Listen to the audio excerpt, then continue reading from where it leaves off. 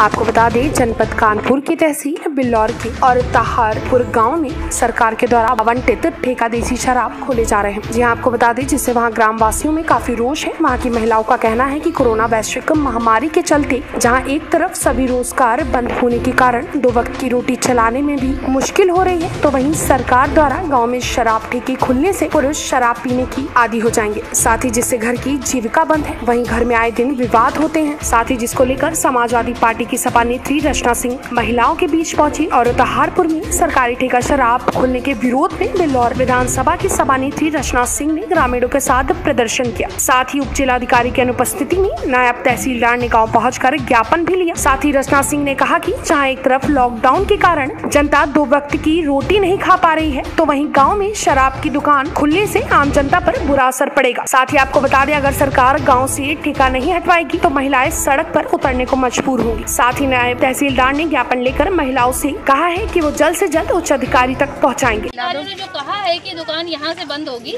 और DM sir जो भी निर्णय देंगे कि 500 मीटर 700 मीटर दूर खुलेगी क्योंकि आवंटन वही करते हैं तो आप लोग अब ये आबादी में नहीं रहेगी। ठीक है? आप लोग इससे निश्चिंत रहें और किसी भी प्रकार का तोड़ फोड़ या ये ना करे कानून अपने हाथ में ना ले।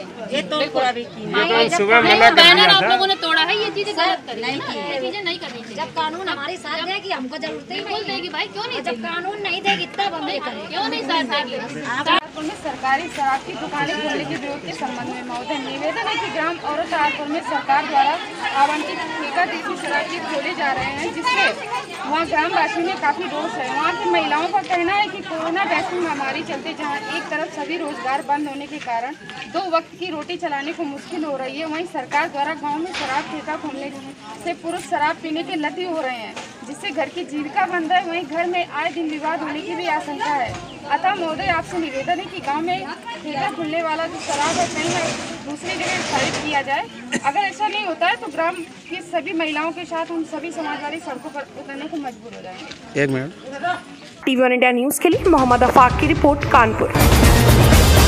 मथुरा के थाने नौझील इलाके के गाँव ईदलगढ़ी के समीप उस वक्त एक दर्दनाक हादसा घटित हुआ, जब तेज रफ्तार ट्रक ने सामने से टेंपो में टक्कर मार आपको बता दें, जिसमें सवार दो लोगों की मौके पर ही मौत हो गई और एक गंभीर रूप से घायल हुआ है। जी हाँ जिसे अस्पताल में भर्ती कराया गया है। साथ ही बताया जा रहा है की ट्रक तेज रफ्तार से अलीगढ़ की तरफ़ से आ रहा था, तभी ट्रक ने टेंपो में सामने से टक्कर मार दी। सामने से टक्कर मार दी की टक्कर इतनी भीषण थी की टेंपो पूरी तरह क्षतिग्रस्त हो गया। साथ ही में ट्रक चालक ट्रक छोड़कर मौके से फरार हो गया। Verkehrszuschlag.